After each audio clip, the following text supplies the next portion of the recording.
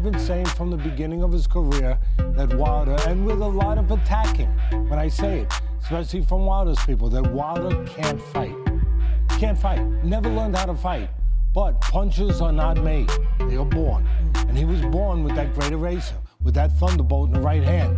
But tonight, it wasn't there to pull him out of the fire. It wasn't there to say. Tonight, he got exposed because he doesn't know how to fight, because his technique is so good. And all credit to Fury.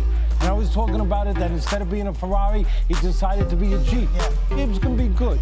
Jeeps can go up terrain. Jeeps can, you know, go up hills. Jeeps can crash into things. Jeeps can knock things down.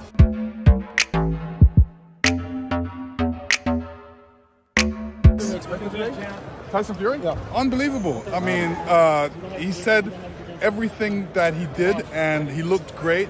He had the confidence. He came in. He said he was the king.